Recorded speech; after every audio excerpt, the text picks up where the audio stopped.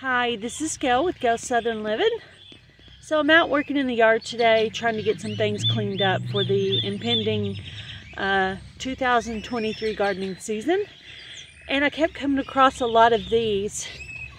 And I was wondering what kind of plant they are and if they were something I could feed to my chickens. So I thought I would put that out to you guys to ask. I know there's an app for that, but that app costs money and in case you didn't know, uh, Gail from Gail's Southern Living, she's really cheap and she doesn't usually pay for things she doesn't have to. So, um, so I'm just trying to get a little bit of a close up so you guys can tell me what this is.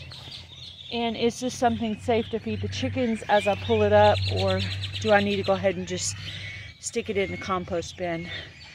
Uh, so please let me know, guys, and share it to anybody you think might know the answer.